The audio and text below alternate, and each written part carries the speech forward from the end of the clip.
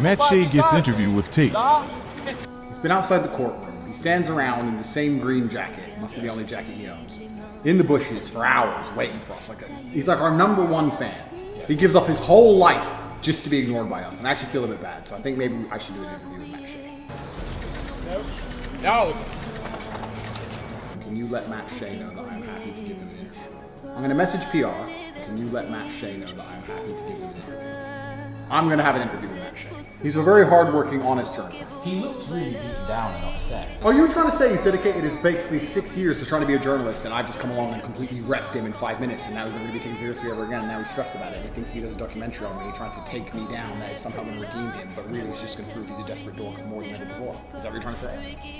Basically, yeah. You wouldn't say it to his face, would you? I bet I would. Well, we're going to find out. So we're going to do an interview with Matt Shea. Just told Matt Shea